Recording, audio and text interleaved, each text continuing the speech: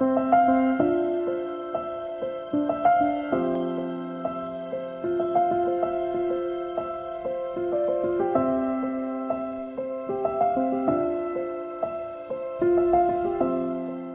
hi, I'm, I'm Ted Parran. I'm an internal medicine physician.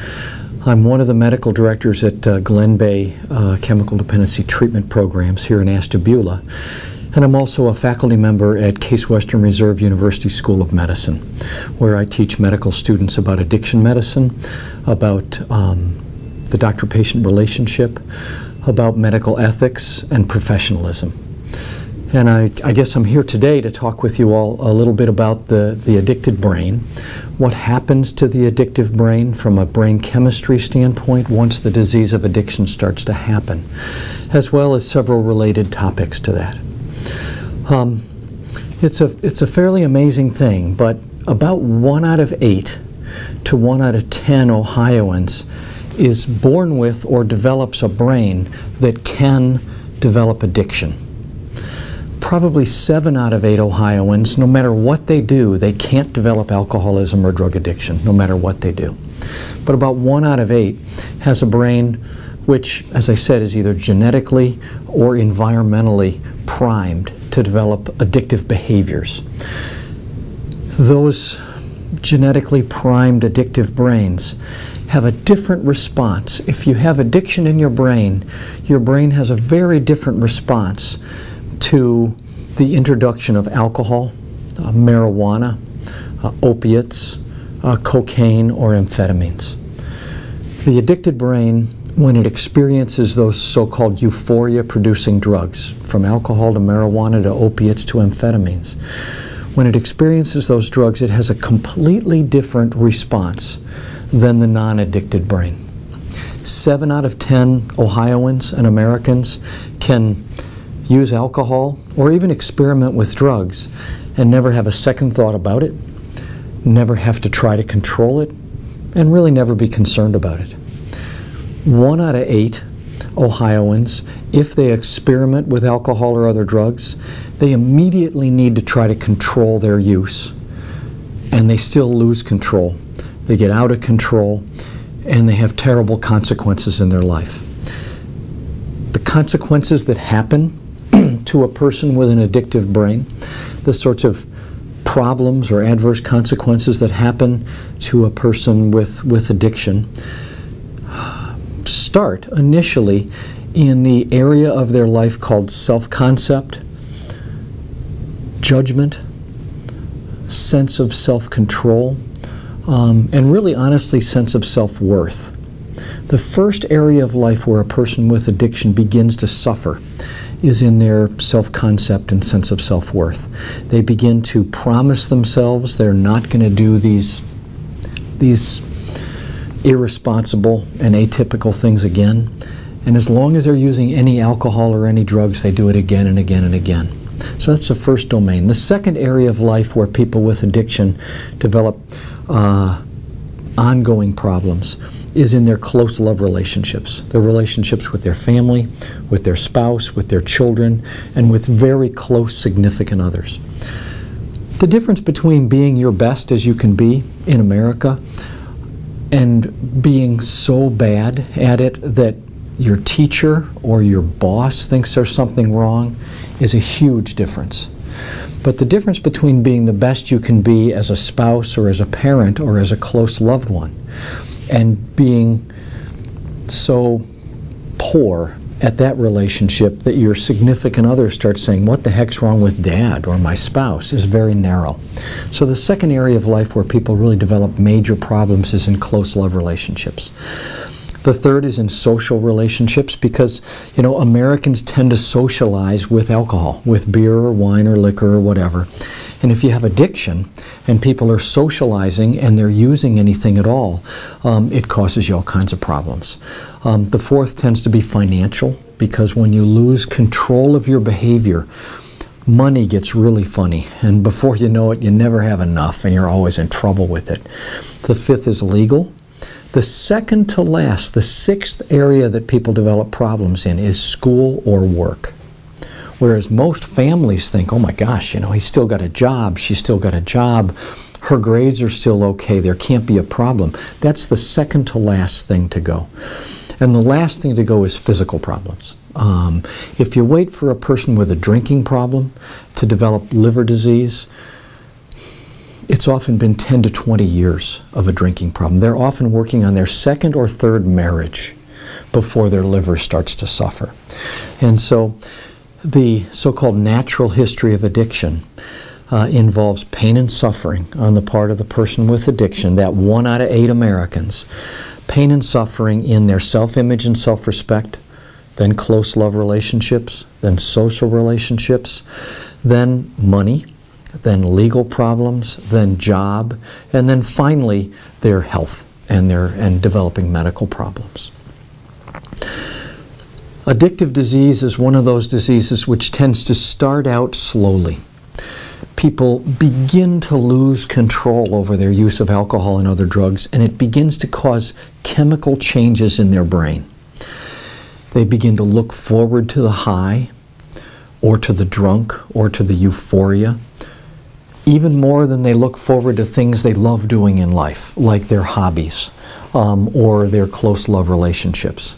And that's because of actual chemical changes in the brain that the alcohol and drugs produce. And so as these brain changes continue, people develop a stronger and stronger love relationship, if you will, with using at the expense of all the other important relationships in their life. And that's purely based on brain chemistry. As this relationship with using gets stronger, when people aren't using, they begin to think about using, they begin to crave using, they begin to yearn uh, for the times when they're using. And so even when they're not using, they're sort of distracted. Uh, they have night dreams about using, they have daydreams about using, and they're sort of not invested in the rest of their life because they've got this, this sick sort of pathologic significant other or lover in their life called using, which is constantly picking with them uh, during the day. So they tend to get more and more irritable. They tend to get less and less tolerant of other people. And they tend to hang around with people who use like they do. They tend to spend more and more time with people who use like they do in a um, dangerous, non-normal sort of pathologic way. And they spend less and less time hanging around people who are social users or people who don't use. And so because of brain chemistry changes, you see people making day in and day out changes in their peer group, um, where they're hanging around people, places, and things um, associated with heavy use and they spend less and less time with people, places, and things associated with more normal behavior in their life. And all of that is based on brain changes. One of the dangerous things about the brain chemistry changes of addiction is that when a person with addiction stops using and they go through detox or they go through withdrawal, when they're done with detox or withdrawal, their brain is still nowhere near normal. It takes a minimum of three to six months for a person who's not using for their brain to begin to get back towards normal. And that's why 60% of relapses take place in the first three months. 80% of relapses take place in the first six months because it takes a minimum of three to six months for the brain to start getting back towards normal. So the highest risk period for a person with addiction is that first three to six months. The next highest risk period is the following six months till they get to a year sober. and then finally, once a person's been sober for two years, and they're still going to some meetings and have a sponsor and have a home group and have integrated a sobriety program in their life. Once they've been sober two years, they've got about a 90% chance of never having a relapse again the rest of their life. as long as no one starts them on an addiction, addictive prescription, um, or as long as there isn't like a death in the family, or one of their children, you know, has a problem, or, or, uh, or a mental health problem flares up in their life. Those are the typical things that can precipitate relapses late. But most folks, if they can make it two years sober and they have a sobriety program integrated into their daily life, um, they've got a very good chance of, of not being faced with relapse in the future. Whereas in the first three to six months, uh, people tend to be faced with all kinds of relapse problems.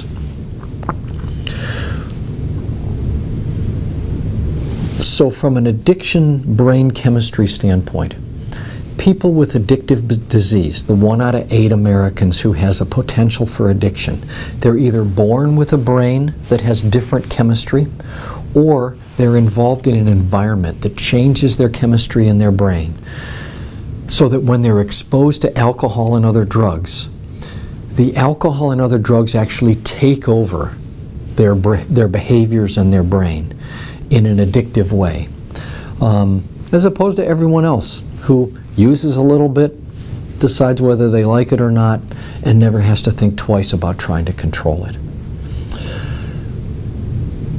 There's another issue that often comes up is questions from family members or friends. Um, they see a person beginning to develop some of these addictive behaviors, losing their sense of self-worth, um, beginning to behave in erratic and, and, uh, and irresponsible and unpredictable ways when they're drinking or drugging, and then behaving in their same normal, typical, you know, good ways um, when they're not drinking or drugging.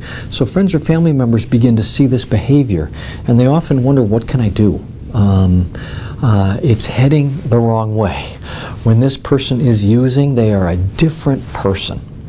And when they're not using, they're their same usual person who we've always known and loved. How can we intervene? And the advice that I give to friends or family members are really three things. And it depends on what the, what the friends or family members feel capable of doing. One is to talk to the person and to say, look, it's not you, it's the using. Separating the humanity of the soul, the, separating the person from the behaviors of the disease. And saying to them, look, it's not you, it's the using. You need to do something about your using. You need some help, you need some treatment. As opposed to saying, how could you do this uh, to me and to the family, which joins the person and the using. So what you want to do when you talk with a person is to separate the person from the using and say that the using is unacceptable and the behaviors that come with it but you're the same good person that God made in the first place.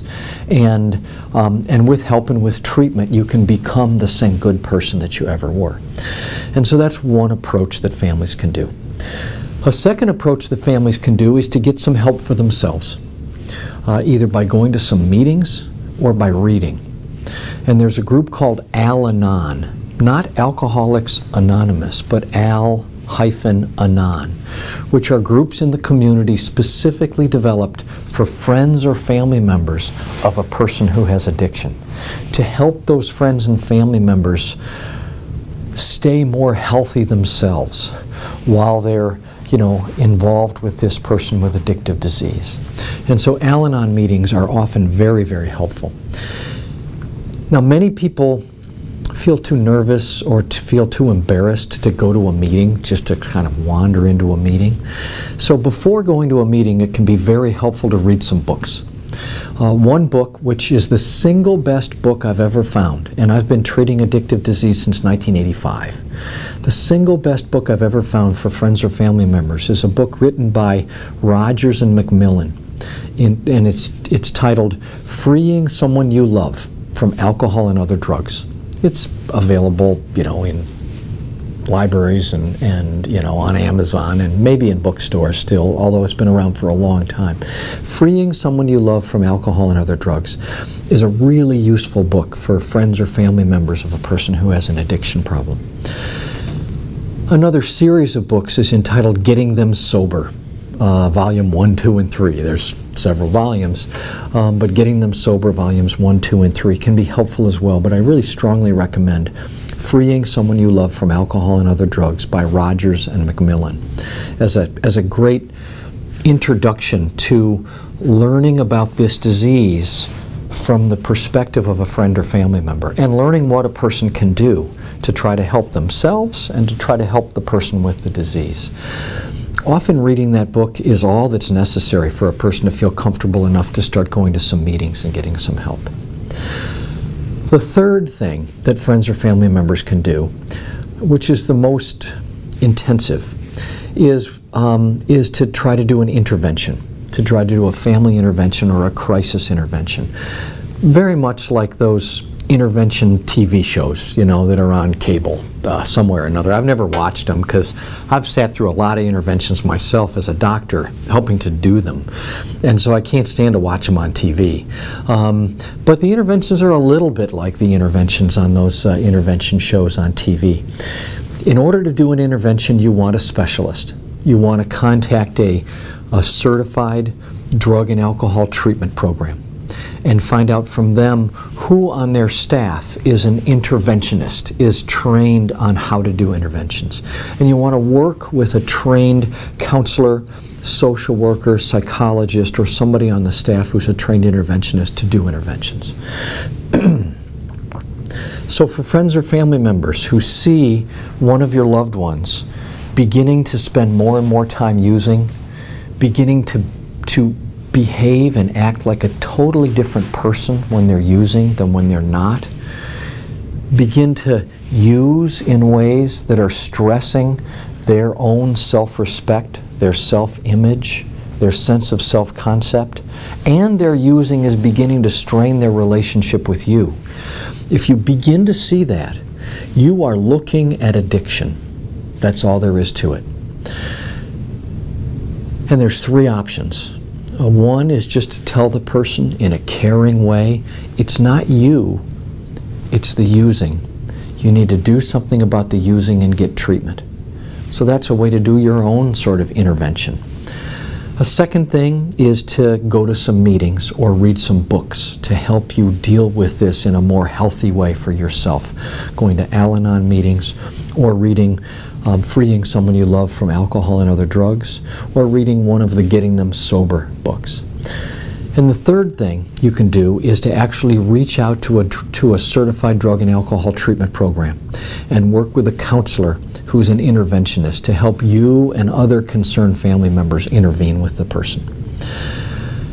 It's critically important to remember as a friend or family member that when a person stops using, they're going to crave the using like crazy. The brain changes haven't gone away and they don't go away for three to six months. So supporting that person in going to their groups, going to their meetings, having a sponsor, having a home group, going to the outpatient counseling programs or the residential counseling programs, keeping alcohol and drugs away from them in the home so they have a they have a dry, supportive home to live in.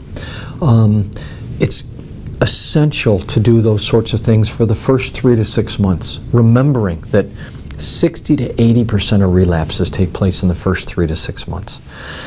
And relapses are really dangerous. Um, so that's really that's the message for friends or family members, um, uh, for anyone who has an addiction history or has had a had an issue with addiction.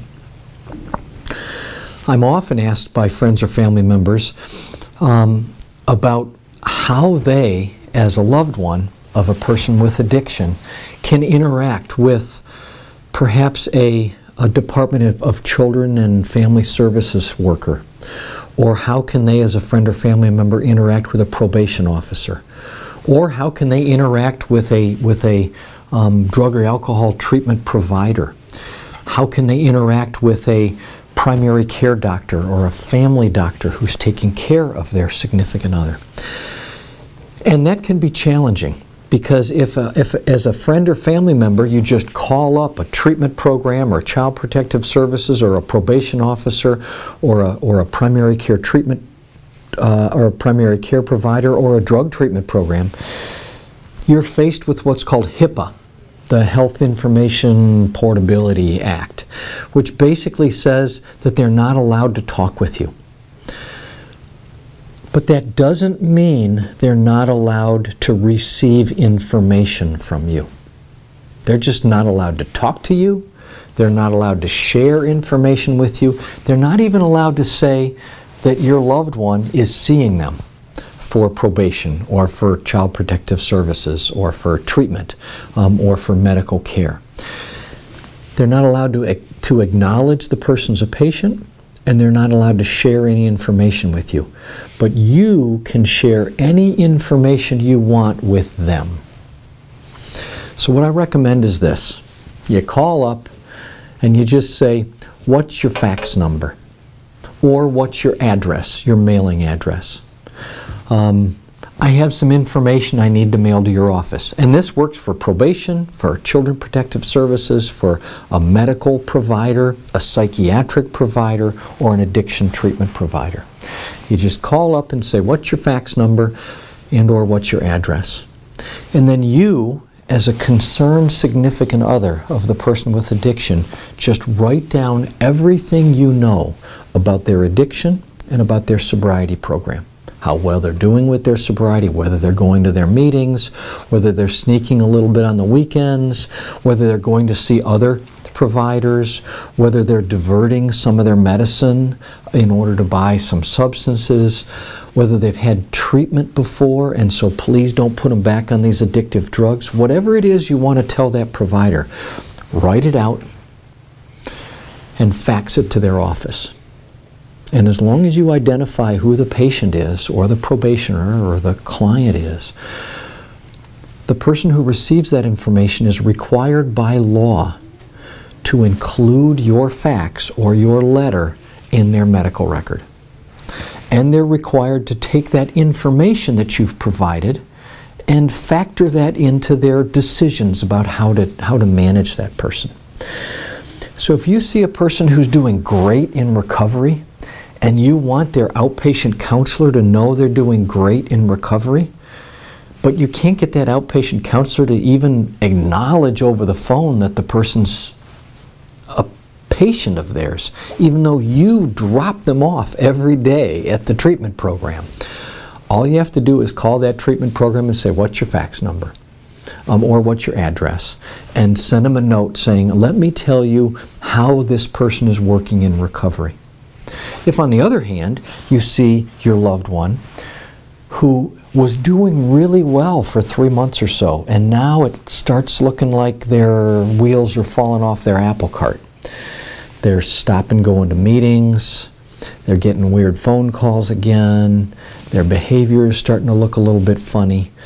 You can write that down and send it in to uh, the treatment program or the probation officer or whoever. Fax it in or send it in.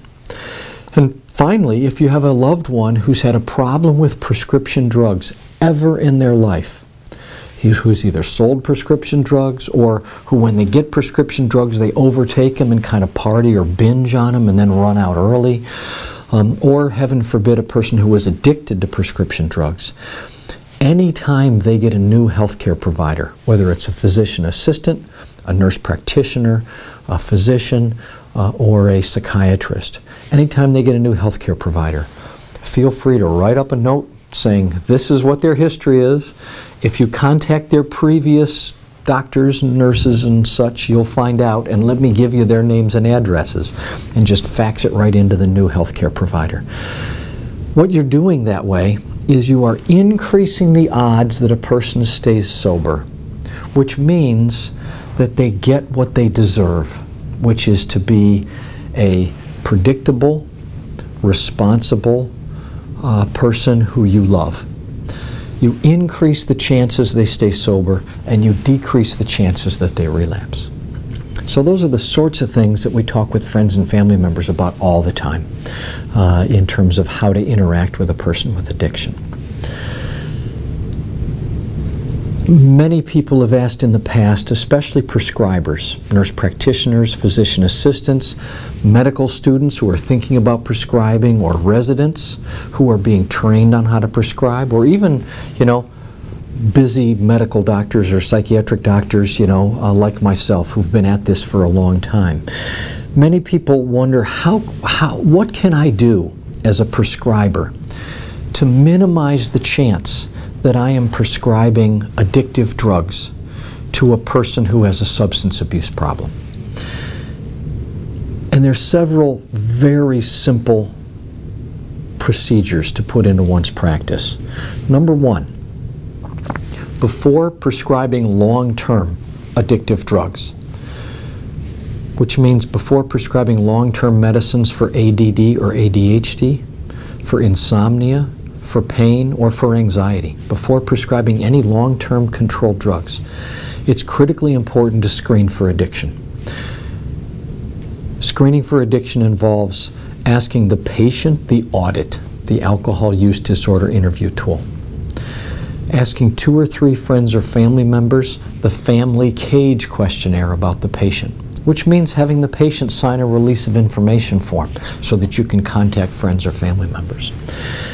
Asking the previous prescribers how the person behaved around these kinds of prescriptions in the past.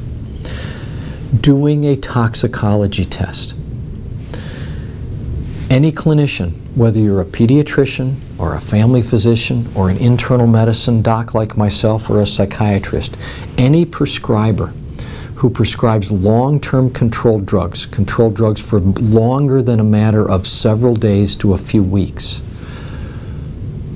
and doesn't check a tox screen is like practicing medicine and taking care of diabetes without checking blood sugars or a hemoglobin A1C. It's inconceivable in 2017, 2018. It's inconceivable since 2007 when accidental fatal overdose on prescription controlled drugs became the leading cause of death in Ohio, the leading cause of accidental death. It's inconceivable to do long-term controlled drug prescribing without checking tox screens. And it's contrary to medical board rules to prescribe long-term controlled drugs without checking an OARRS report. We are required by medical board rules to check an OARRS report when prescribing controlled drugs, especially long-term, and to check them at least every three months, if not every visit, um, just to make sure a person's not going to several other doctors. So it's not very hard to screen for addictive disease. Number one, ask the patient the audit, the alcohol use disorder interview tool. Number two, ask the family cage of friends or family members of the patient.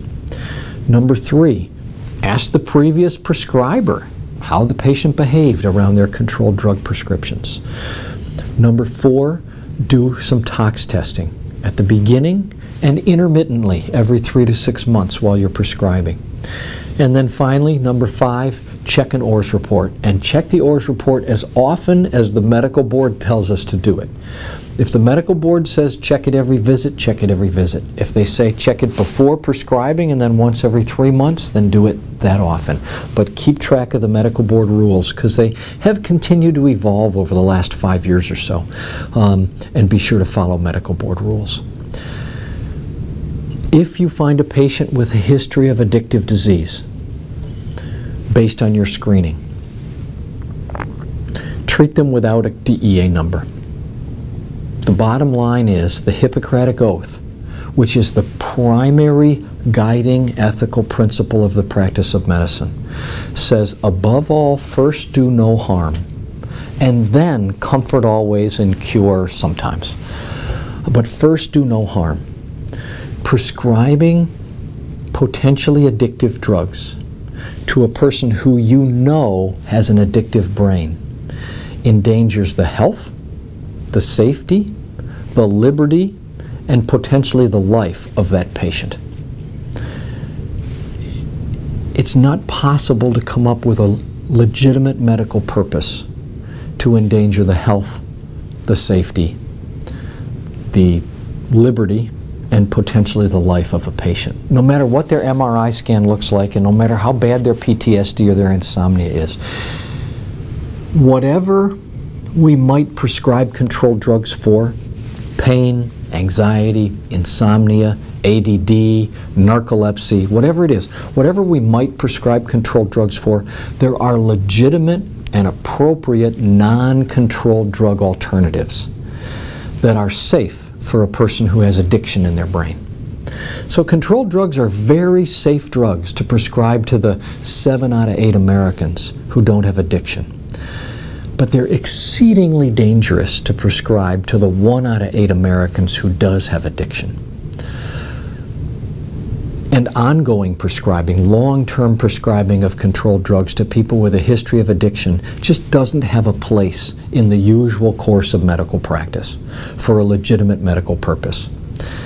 And from a federal law standpoint, those are the two criteria. If, if heaven forbid any of us, me or you, are ever asked to justify our prescribing of medications to this patient in front of us at a federal level, what we're asked is, show us that the prescribing took place in the usual course of medical practice and for a legitimate medical purpose. And there isn't one uh, when it comes to long-term prescribing of controlled drugs to people with addiction. Short-term prescribing for a brief period of time if there's a sprain or a strain or an accident or an injury or a knee replacement or whatever might be necessary, but long-term prescribing there is not a, a, a legitimate medical purpose and it's inconsistent with the usual course of medical practice.